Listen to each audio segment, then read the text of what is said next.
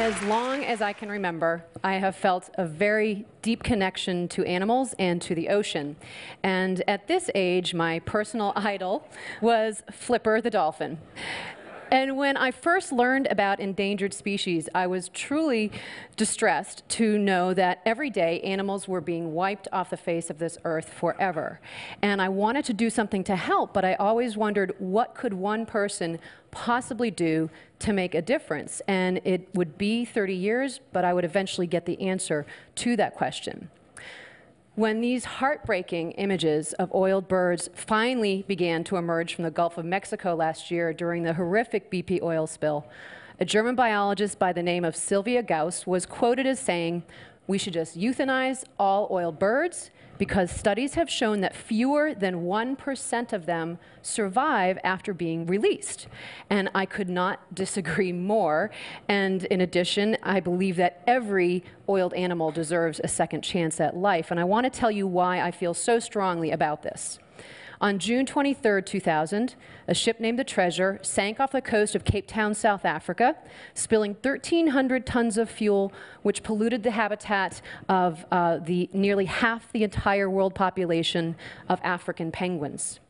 Now, the ship sank between Robben Island to the south and Dassen Island to the north, and these are two of the penguins' main breeding islands. And exactly six years and three days earlier, on June 20th, 1994, a ship named the Apollo Sea sank near Dassen Island, oiling 10,000 penguins, half of which died.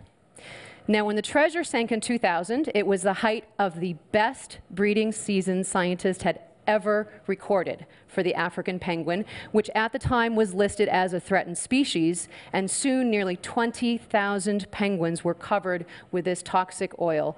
And the local seabird rescue center named SANCCOB immediately launched a massive rescue operation, and this soon would become the largest animal rescue ever undertaken. Now, at the time, I was working down the street. I was a penguin aquarist at the New England Aquarium. And exactly 11 years ago yesterday, the phone rang in the penguin office. And with that call, my life would change forever. It was Estelle Vandermeer calling from SANCCOB saying, please come help. We have thousands of oiled penguins and thousands of willing but completely inexperienced volunteers. And we need penguin experts to come train and supervise them. So two days later, I was on a plane headed for Cape Town with a team of penguin specialists. And the scene inside of this building was devastating and surreal. In fact, many people compared it to a war zone. And last week, a 10 year old girl asked me, What did it feel like when you first walked into that building and saw so many oiled penguins? And this is what happened. I was instantly transported back to that moment in time. Penguins are very vocal birds and really, really noisy. And so I expected to walk into this building and be met with this cacophony of honking and braying and squawking. But instead, when we stepped through those doors and into the building, it was eerily silent. So it was very clear these were stressed, sick, traumatized birds. The other thing that was so striking was the sheer number of volunteers. Up to 1,000 people a day came to the rescue center, and eventually, over the course of this rescue, more than 12,500 volunteers came from all over the world to Cape Town to help save these birds. And the amazing thing was that not one of them had to be there yet they were. So for the few of us that were there in a professional capacity, this extraordinary volunteer response to this animal crisis was profoundly moving and awe-inspiring. So the day after we arrived, two of us from the aquarium were put in charge of room two, and room two had more than 4,000 oiled penguins in it. Now, mind you, three days earlier, we had 60 penguins under our care. So we were definitely overwhelmed and just a bit terrified, at least I was. Personally, I really didn't know if I was capable of handling such a monstrous task. And collectively, we really didn't know if we could pull this off because we all knew that just six years earlier, half as many penguins had been oiled and rescued, and only half of them had survived. So, would it be humanly possible to save this many oiled penguins? We just did not know. But what gave us hope were these incredibly dedicated and brave volunteers, three of whom here are force feeding penguins. And you may notice they're wearing very thick gloves. And what you should know about African penguins is that they have razor sharp beaks. And before long, our bodies were covered head to toe with these nasty wounds inflicted by the terrified penguins. Now, the day after we arrived, a new crisis began to unfold. The oil slick was now moving north towards Dassen Island, and the rescuers despaired because they knew if the oil hit, it would not be possible to rescue any more oiled birds, and there really were no good solutions. But then finally, one of the researchers threw out this crazy idea. He said, okay, why don't we try and collect the birds at the greatest risk of getting oiled? They collected 20,000, and we'll ship them 500 miles up the coast to Port Elizabeth in these open air trucks and release them into the clean waters there and let them swim back home. So, so three of those penguins, Peter, Pamela, and Percy, wore satellite tags, and the researchers crossed their fingers and hoped that by the time they got back home, the oil would be cleaned up from their islands. And luckily, the day they arrived, it was. So it had been a huge gamble, but it had paid off. And so they know now that they can use the strategy in future oil spills. So in wildlife rescue, as in life, we learn from each previous experience and we learn from both our successes and our failures. And the main thing learned during the Apollo Sea rescue in 94 was that most of those penguins had died due to the unwitting use of poorly ventilated transport boxes and trucks because they just had not been prepared to deal with so many oiled penguins at once. So in these six years between these two oil spills, they'd built thousands of these well-ventilated boxes, and as a result, during the treasure rescue, just 160 penguins died during the transport process, as opposed to 5,000. So this alone was a huge victory. Something else learned during the Apollo rescue was how to train the penguins to take fish freely from their hands using these training boxes. And we used this technique again during the treasure rescue. But an interesting thing was noted during the training process.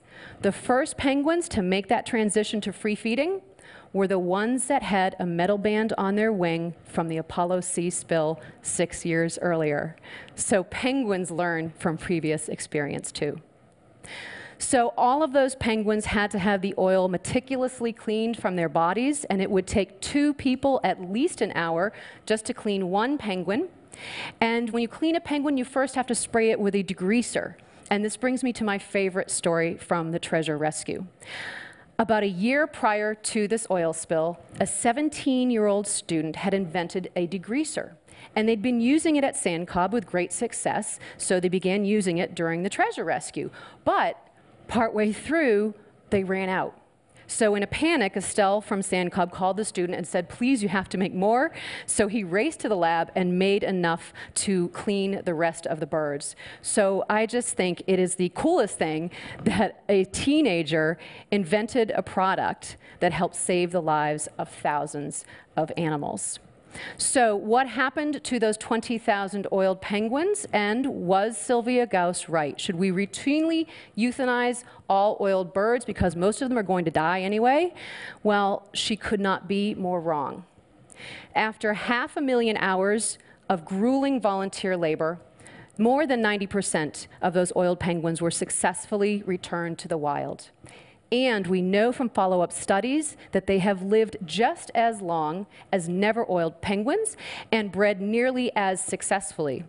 And in addition, about 3,000 penguin chicks were rescued and hand-raised. And again, we know from long-term monitoring that more of these hand-raised chicks survive to adulthood and breeding age than do parent raised chicks. So, armed with this knowledge, SANCCOB has a chick bolstering project, and every year they rescue and raise abandoned chicks, and they have a very impressive 80% success rate. And this is critically important because one year ago, the African penguin was declared endangered.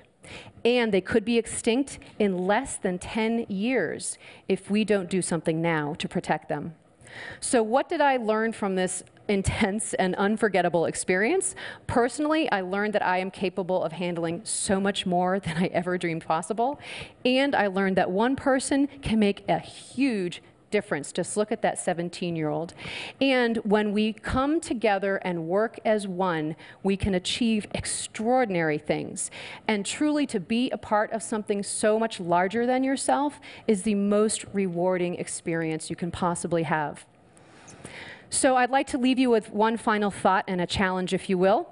My mission as the Penguin Lady is to raise awareness and funding to protect penguins. But why should any of you care about penguins? Well, you should care because they're an indicator species. And simply put, if penguins are dying, it means our oceans are dying. And we ultimately will be affected because, as Sylvia Earle says, the oceans are our life support system. And the two main threats to penguins today are overfishing and global warming. And these are two things that each one of us actually has the power to do something about. So if we each do our part, together we can make a difference and we can help keep penguins from going extinct. Humans have always been the greatest threat to penguins, but we are now their only hope. Thank you.